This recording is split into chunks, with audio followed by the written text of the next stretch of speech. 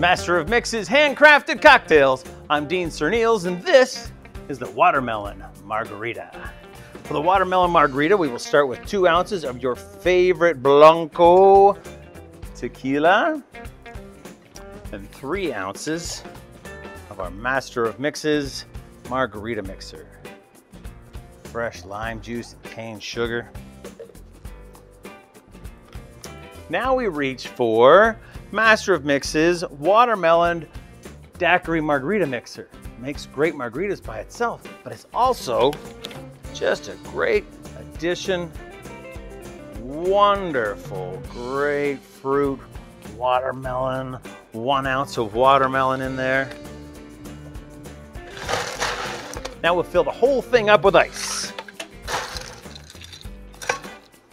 So that glass is topped with ice. And we'll bring our shaker tin down on an angle, give it a little rap so we can pick it up and we'll shake it up.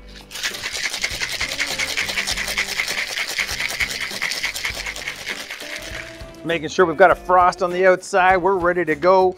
A little tiny rap right where the glass comes off the glass, where the glass comes off the shaker tin. And I already have my glass set up with a great big piece of watermelon. I love a big piece of watermelon on my watermelon margaritas. Little bit of lime there as well.